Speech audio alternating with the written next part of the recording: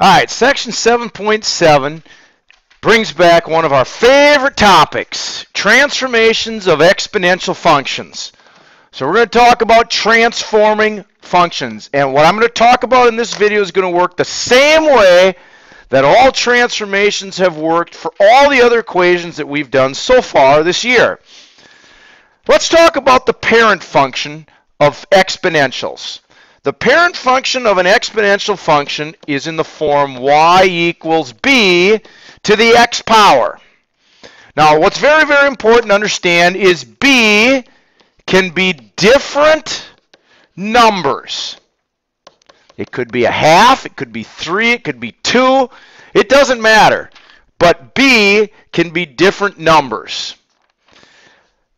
Now, the general form, or how you transform exponential functions. It has this form.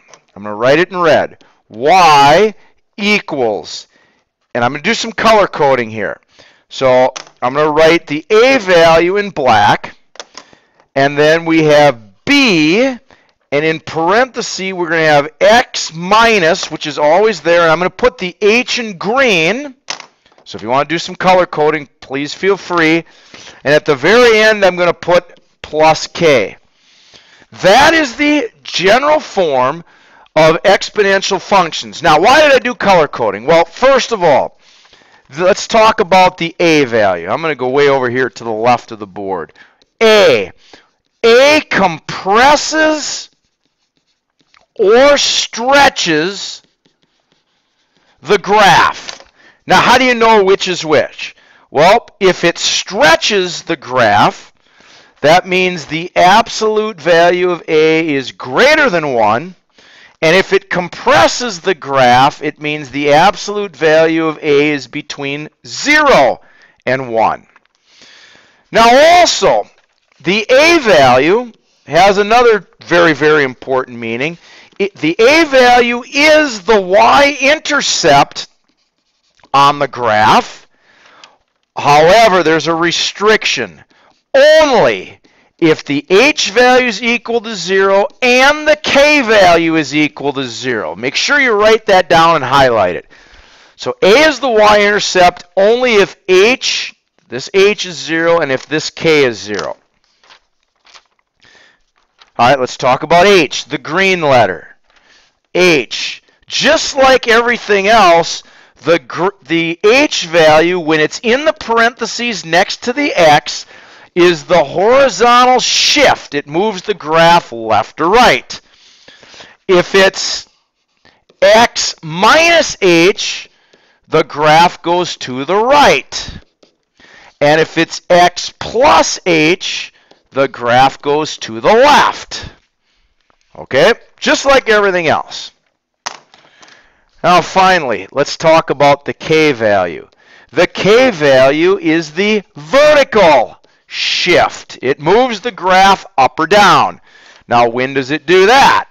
Well, if it's a plus K, just like all the others this year, the graph goes up.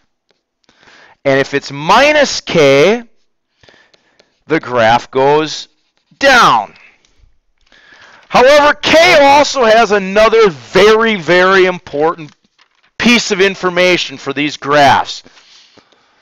The line y equals k, the horizontal line y equals k, is the horizontal asymptote.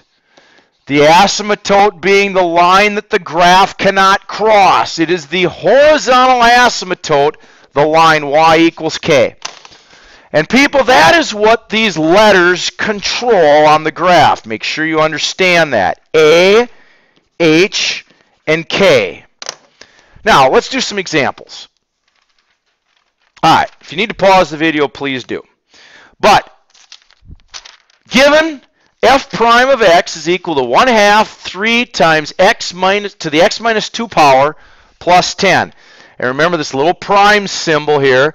That little prime symbol means the transformed function. So if that's the transform function, I want to know all these pieces of information. First of all, what is the parent function? Well, the parent function, if you recall, you get rid of you get rid of the a value, the h value, and the k value. So if I get rid of a, if I get rid of h, and if I get rid of k, my parent function is y equals 3 to the x power. Very simple. The y-intercept. Well, the a value is the y-intercept only if h and k are both 0. Well, that's not the case here. So the only way to find the y-intercept is to put 0 in for x. Well, if I put 0 where the x is, I get 3 to the negative 2 power. 3 to the negative 2 power, 3 to the negative 2 power is 1 over 3 squared, which is 1 ninth. Well, then I take it times a half. So a half times 1 ninth is 1 over 18, plus 10 would make 10, and 1 18th is my y-intercept for this particular graph. All right, the equation of the asymptote. As I said in the prior slide, the k value is the asymptote. y equals 10 is our horizontal asymptote. The domain. What numbers can I put in for x? Well, in my equation, I can put in any number for x, and I will get an answer to the problem. So the domain will be all real numbers. Now the range. The range is controlled by the k value.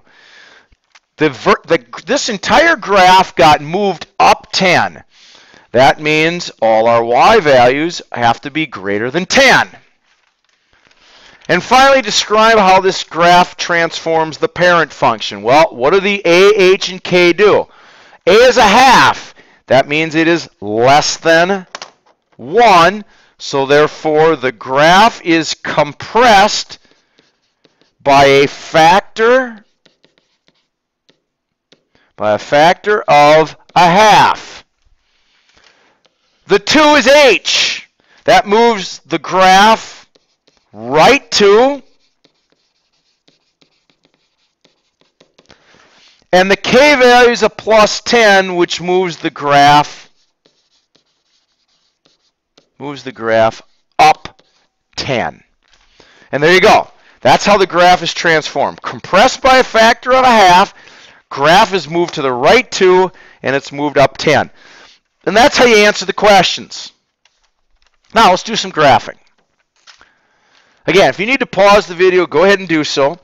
But what we're going to do is we are going to graph the parent function first. y equals 3 to the x, and then the transform function because it's got a k value. Well, you remember, anytime you have to graph, if you don't know what to do, make a t-table. And we did this on a prior video. But if I pick values for x, negative 2, negative 1, 0, 1, and 2, and I plug them in for x, if x is negative 2, I get 1 ninth. If x is negative 1, I get a third. If I put 0 in for x, 3 to the 0 is 1. If I put 1 in for x, you'd get 3. If I put 2 in for x, you'd get 9. Now I'm going to try and graph this on this grid over here as best I can.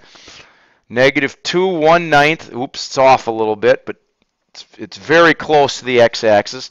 Negative 1, 1 third is about right there. 0, 1 is going to be about right there.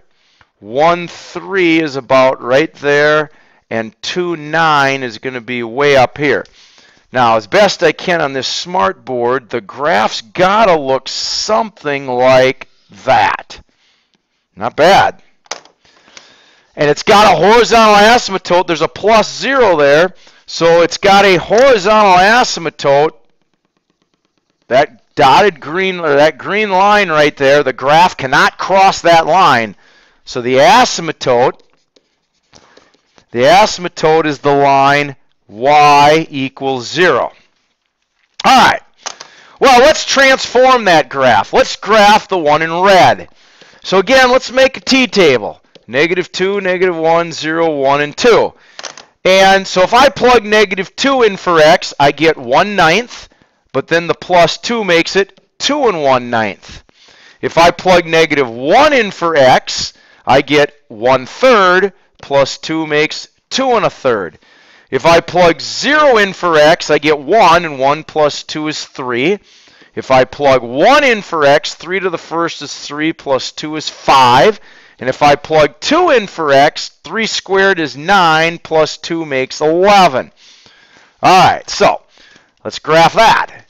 Negative 2 and 2 and a ninth is, well, about right there. Negative 1 and 2 and a third is about right there. 0, 3 is about right there.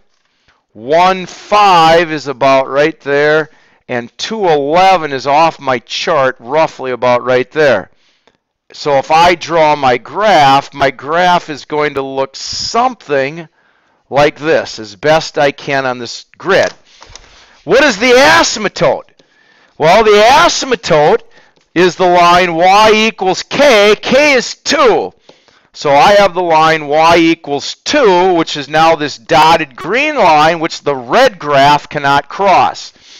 And if you notice, all my blue values, when I transformed it, they went up by 2, which moved the graph up 2. And there you go, people. That is how you do transformations of exponential functions.